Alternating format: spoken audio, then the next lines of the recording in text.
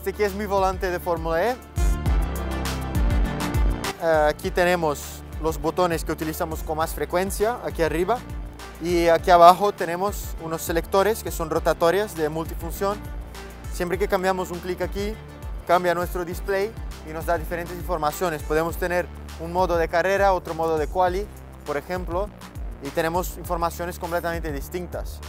Otra cosa es, durante la carrera y sobre todo, la mayoría de las opciones que tenemos en el volante, la finalidad es que nos ayude durante la carrera a distribuir la energía para terminar la carrera. El desastre en Fórmula E es cuando tu energía se acaba antes de la carrera.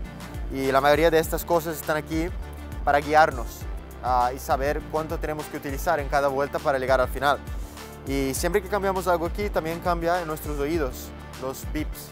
Ah, tenemos unos, unos bips, diferentes tonos, ah, para cuando tenemos que molar, gas y regenerar, ¿vale? Y, y, esto va de acuerdo con lo que seleccionamos aquí y también de, acuerdo con lo que vamos hablando con el ingeniero vía radio.